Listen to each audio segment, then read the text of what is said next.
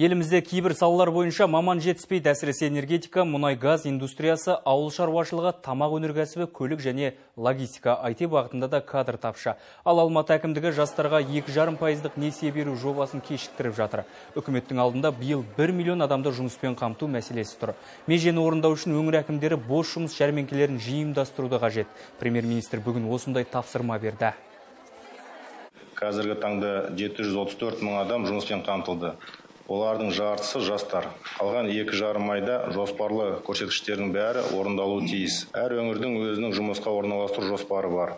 Онда әрбір өңірдегі еңбек нарығының ерекшеліктері ескерілген